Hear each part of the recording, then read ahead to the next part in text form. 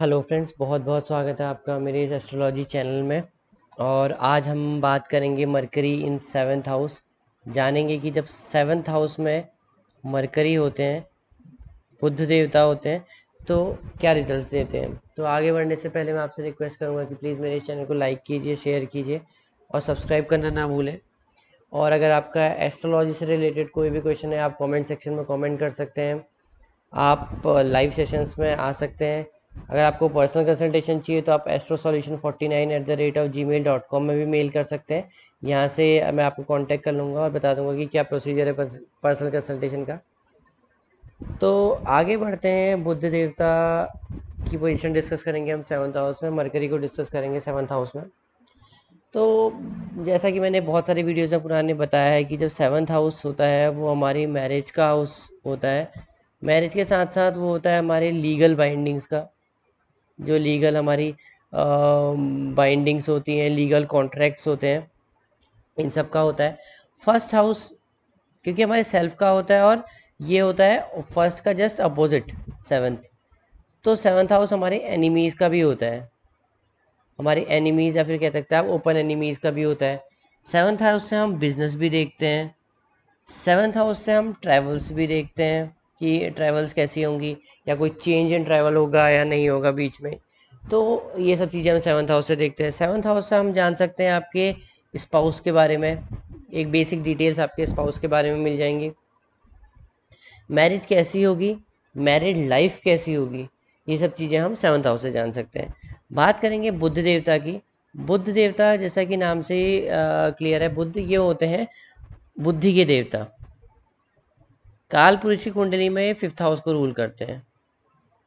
ठीक, ये होते हैं माइंड के हमारे देवता होते हैं। ये calculations share market share market में साथ साथ इनके साथ राहु भी होता है शेयर मार्केट में।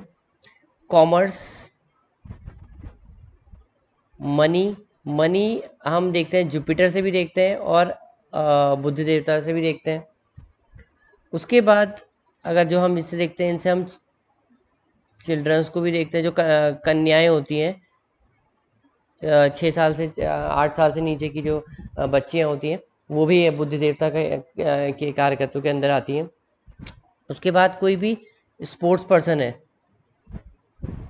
स्पोर्ट्स पर्सन है, उसको भी हम, वो भी बुद्धि देवता से देखा जाएगा। वो भी बुद्धि देवता का कारक होता है स्पोर्ट्स जितने भी हैं आपके, जो बुद्धि देवता के कारक होते हैं। बुद्ध देवता को हमारे, इसमें एक्चुअली ये एस्ट्रोलॉजी में प्रिंस कहा गया है, राजकुमार कहा गया है। तो काफ़ी सुंदर होते हैं, अगर इनका देखें तो इनको। तो ये एक सुंदरता के भी, सुंदरता नहीं कह सकते, आप एक राजकुमार के प्रतीक भी बुद्ध देवता माने जाते हैं। उसके बाद अब हम बात करेंगे, जब सेवन्थ हाउस में मरकरी होते हैं, बुद्ध देवता की पोजीशन हम सेवन्थ हाउस में देखेंगे। Mercury in seventh house possibly आपको रिजल्ट्स देगा उसके नक्षत्र और सबलॉर्ड के अंदर। क्योंकि ये बुद्धि मरकरी है मरकरी बुद्धि का देवता है तो जो, क्योंकि यहाँ से जो ये दृष्टि डालेगा आस्पेक्ट करेगा आपके सेवन्थ हाउस फ़र्स्ट हाउस को सॉरी आस्पेक्ट करेगा फ़र्स्ट हाउस को। तो ये जैसे जो ये जातक होगा, ये काफ़ी कैलकुलेटिव माइंड होगा। इसका माइंड बहुत शार्प होगा कैलकुलेशन बहुत अच्छी होंगी मैथमेटिक्स बहुत अच्छी होगी। उसके बाद तो कॉमर्स में इंटरेस्ट होगा जनरली पैसे से रिलेटेड काफ़ी ये सोचता हूँ मनी माइंडेड होते हैं ऐसे लोग. और दिखने में सुंदर होते हैं एथलेटिक बॉडी होती है इनकी. और काफ़ी सुंदर प्रतीत होते हैं. अब जब ये सेवन्थ हाउस में है मैरिज है सेवन्थ हाउस में मैरिज को बहुत ज़्यादा हम ये नहीं कहेंगे कि बहुत ज़्यादा अच्छा करता है. लेकिन ख़राब भी नहीं करेगा. डिपेंड करेगा ये किस नक्षत्र में है? नक्षत्र में है और किस सब लॉर्ड के अंदर है। ये चीज़ें, दो चीज़ें बहुत मेन फैक्टर होंगे यहाँ पे बुद्ध देवता को जज करने के लिए। अगर बुद्ध देवता, क्योंकि सप्तम भाव में बैठे हुए बुद्ध देवता, अगर सेकंड हाउस या इलेवेंथ हाउस के साथ संबंध बनाते हैं। तो आप मान के चलिए, ये होगा पॉजिटिव फॉर मैरिज अगर सप्तम भाव में बैठे हुए बुद्ध देवता रिलेशन बनाते हैं टेंथ हाउस के साथ। प्लस फ़र्स्ट हाउस के साथ। तो ये होगा आपका नेगेटिव फॉर मैरिज अगर यहाँ पे बैठे हुए बुद्ध देवता, सप्तम भाव में बैठे हुए बुद्ध देवता, दसवें और ग्यारहवें, देखिए एक कॉम्बिनेशन है इसमें। मैंने आपसे कहा था अगर सप्तम भाव के साथ दसवां घर आ रहा है बीच में तो ये मैरिड लाइफ के लिए नेगेटिव का क्योंकि यहाँ पे ग्यारहवा घर भी बीच में आ रहा है तो ये नेगेटिविटी खत्म हो जाएगी, क्योंकि दस, सात, ग्यारह का जो कॉम्बिनेशन है, ये बहुत स्ट्रांग है, अकेले दस से।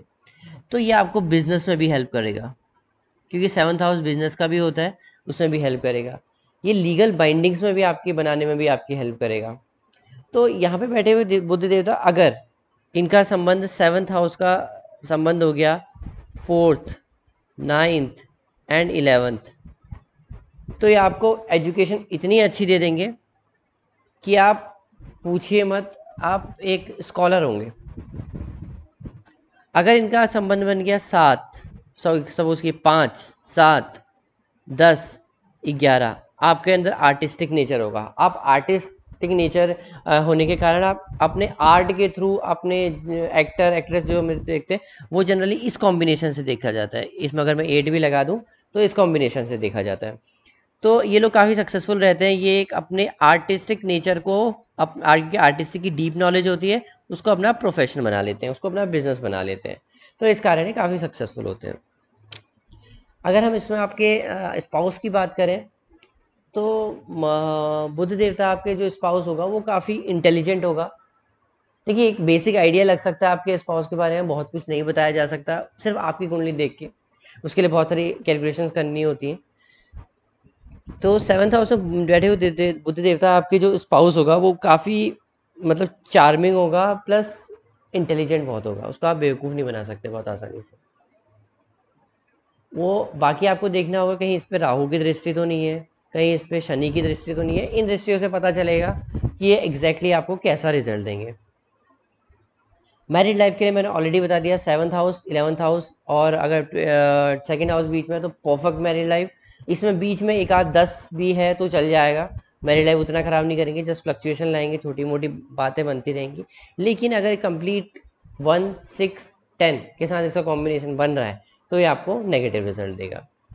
तो फ्रेंड्स ये बताइए आपको ये वीडियो कैसा लगा? अगर अच्छा लगा तो प्लीज़ कमेंट सेक्शन में कमेंट करना ना भूलें। पर्सनल कंसल्टेशन अगर आपको चाहिए तो astro solution forty nine at the rate of Gmail dot com पर आप मेल कर सकते हैं। और लाइव सेशंस हम लोग करते रहते हैं तो आप उस लाइव सेशंस में भी आके अपना क्वेश्चन पूछ सकते हैं। तो friends thank you for watching thank you so much